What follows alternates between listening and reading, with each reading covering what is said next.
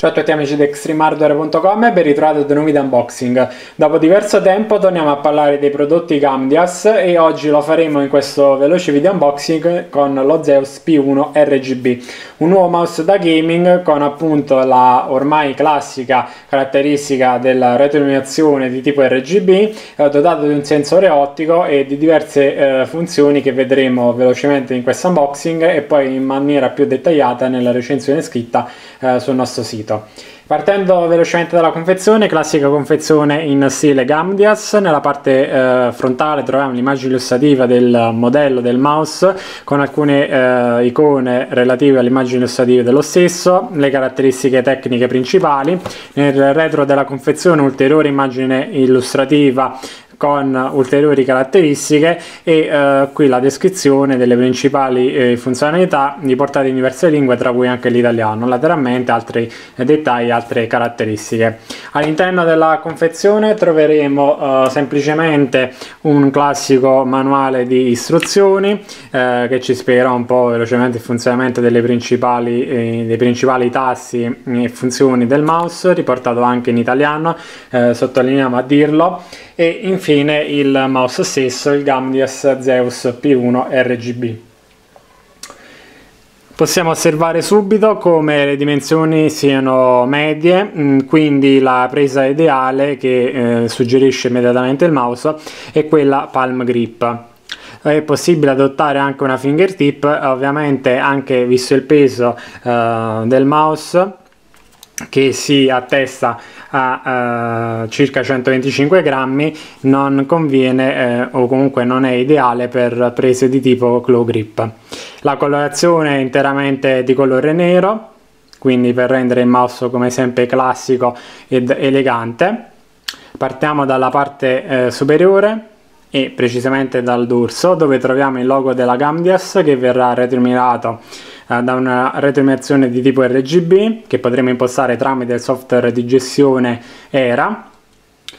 A seguire troviamo già due primi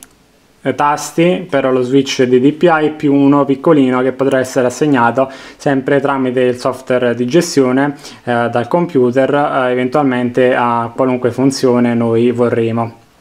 a seguire classica rotellina di tipo cliccabile con una uh, superficie una,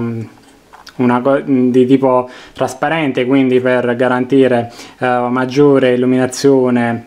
uh, di tipo RGB o comunque del colore che sceglieremo. Due classici tasti dovrebbero montare i classici switch Omron per garantire massima affidabilità e durata. E troviamo anche il logo del mouse nel, uh, sul tasto sinistro. Ci spostiamo nel lato di sinistra dove possiamo osservare un inserto che ci permetterà di poggiare il mouse per dare maggiore comodità durante eh, le sessioni di gioco e per ovviamente cliccare quando necessario i due tasti laterali in uh, gomma con una superficie texturizzata e questa superficie gommata la possiamo vedere che arriva anche nel lato di sinistra dove non sono presenti eh, altri tasti se riusciamo a vedere, se riuscite a vedere, possiamo anche vedere l'aggiuntura delle due parti superfici in gomma. Troviamo anche questo inserto superiore e inferiore in plastica da cui verrà uh, irradiata l'illuminazione del mouse una volta collegato al computer. Ci spostiamo nella parte frontale dove possiamo osservare meglio il design dello stesso. A seguire passiamo nella parte inferiore dove troviamo un mouse fit di medie dimensioni nella parte inferiore, due più piccole nella parte superiore. Il sensore è posizionato leggermente eh, nella parte alta, eh, è un sensore ottico e precisamente un PixArt PMW3336, è una variante del 3330 e eh, potremo impostare i DPI fino a 12.000. Il uh, profilo di default è settato a 1600 ma ovviamente potrete diminuire o aumentare a seconda delle necessità